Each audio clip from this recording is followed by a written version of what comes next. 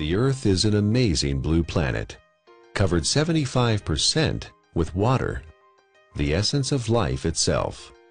Without water, life would not exist. Water makes our planet unique in our solar system, and the presence of water is what astronomers look for in their search for life on other planets. Like the Earth, the human body is also, on average, 75% water. Without water, none of the processes that support life can exist. While we can go without food for many weeks, we can only live a few days without water. Yet only 2% of the Earth's water is drinkable. And billions of people worldwide don't have access to clean drinking water. In this video, you'll learn a lot about water. You'll also be introduced to Dr. Richard Cohen, MD, a doctor who practices integrative anti-aging medicine and performance sports nutrition. We really don't think too much about water. It's something that comes out of our tap. It's something that's in the ocean. But um, what I want people to realize is that we are essentially water. Our brain is 90% water. Our blood is 80% water. Our muscles are 70% water. So without water, our bodies cease to exist. Water is the essence of life. Water carries oxygen and nutrients to the cells. Water regulates body temperature. Water helps the body absorb nutrients and convert food to energy. Water protects and cushions vital organs and cushions the joints. Water removes metabolic waste from the cells through the lymphatic system. Without water, life ceases to exist. Water is just water, right? Tap water, filtered water, spring water, well water, bottled water. Some are a little more pure than the rest. Others have more minerals and taste better. Long history of scientific research about water and its healing ability. The common denominator uh, with all these different cultures that have this vibrancy is their source of water and the properties that that water consists of when we look at natural water, you know, there, there are four or five different properties um, that, that are critical.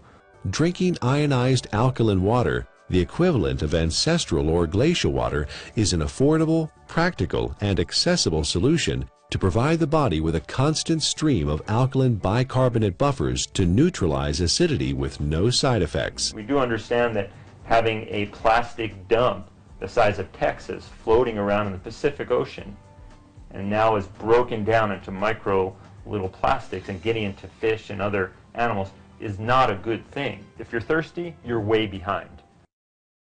That's a clear point. Our thirst mechanism doesn't kick in until we're already slightly dehydrated. Um, an athlete can spend hours and hours training, um, and in a, for example, a one-hour event, you know, a 3% reduction is almost two minutes. And that's the difference between winning or losing a race. An acidic condition for the body is very unhealthy. Um, when the body is chronically acidic, um, illnesses can develop. When the body becomes acid, systems begin to malfunction. Um, you know, we, we, understand fish tanks and swimming pools. Um, when they're acid, you need to make a change. When, when a fish tank is acid, fish die. When a pool becomes too acidic, you don't want to go in it. And when this acidity builds up, it in essence is one of the reasons for disease in, in, in our body. Um, bones begin to demineralize. Um, our ability to create energy decreases. Our, our immune system becomes depressed. The inflammation for aches and pains increases. Not a good thing to be acid. 80% of the foods we consume leave behind acid waste that the body has to deal with.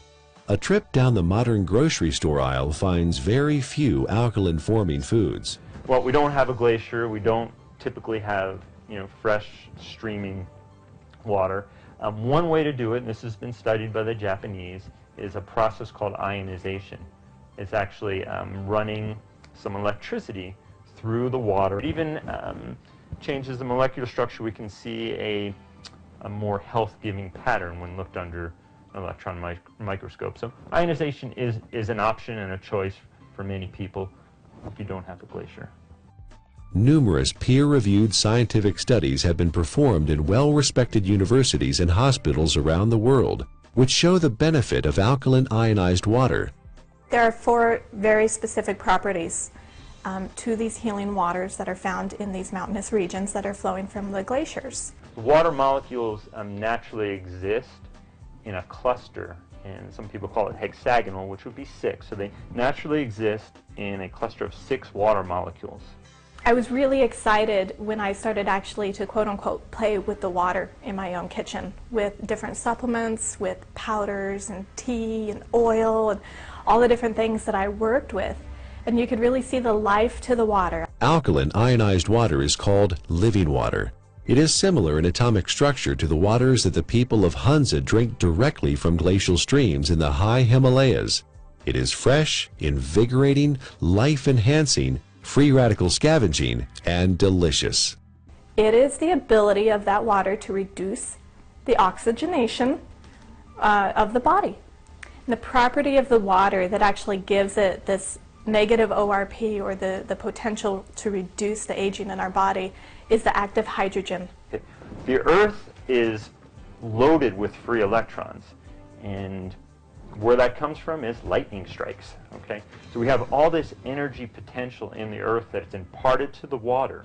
In its natural state, water has a similar, even perhaps more powerful ability to quench out free radicals or inflammatory processes. Water in its natural state, microclustered, alkalinized, is going to give you, in essence, the most bang for your buck. Don't waste your fluid on coffee. Don't waste your fluid on energy drinks or sodas. Absolutely not. That's just going to make your condition worse.